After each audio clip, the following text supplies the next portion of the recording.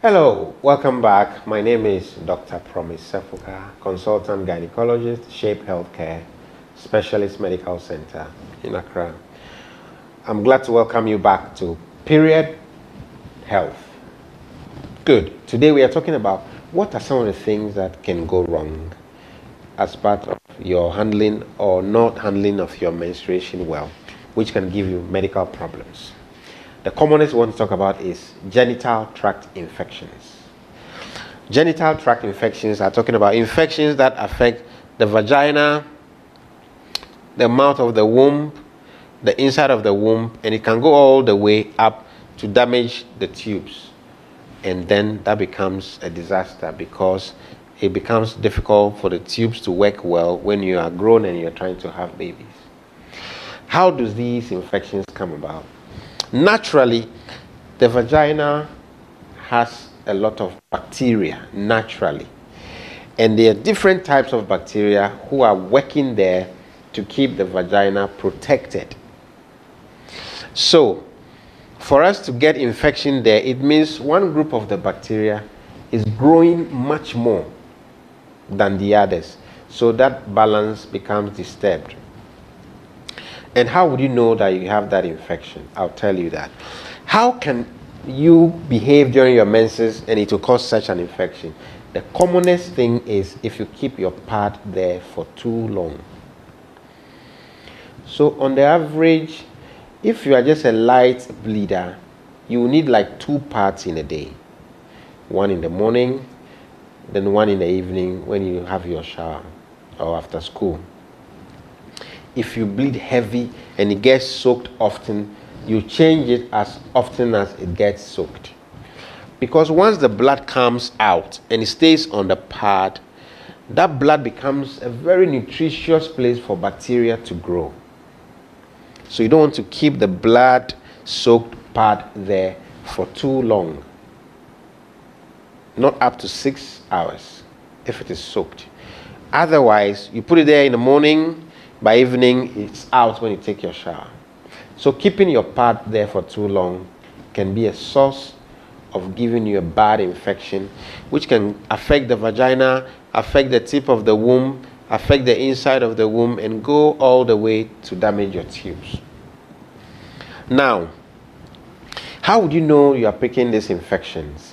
Sometimes you have an abnormal discharge, fluid from the vagina which can be yellowish, creamish. Occasionally, it will be whitish or like old milk.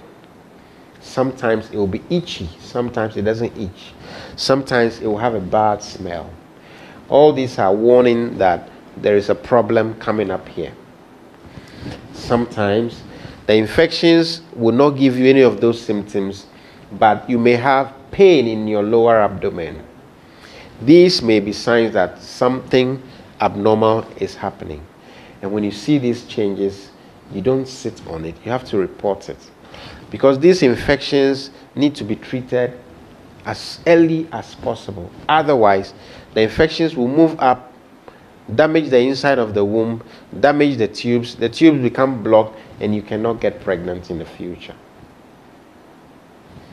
You take your shower regularly, change your pad or have your bath regularly.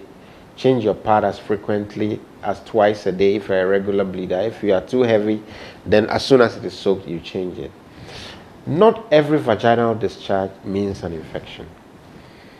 The normal vaginal discharge will be clear or just a little cloudy. If it is too much to wet your underpants, it is not normal. If it is colored, it is not normal. If it has an abnormal smell, it is not normal. Apart from clear to cloudy, not so much to wet your pants, not offensive, non itchy. Anything apart from this is abnormal and has to be reported to the hospital. So, in order to prevent these infections, one of the key things also is change your underwear. You don't just change the pad and put the new pad in the old pants.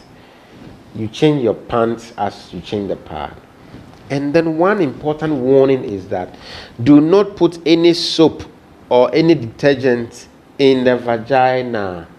No, no, no. The vagina has a way of cleaning itself. All you need is just clear water to wash the blood. That's all.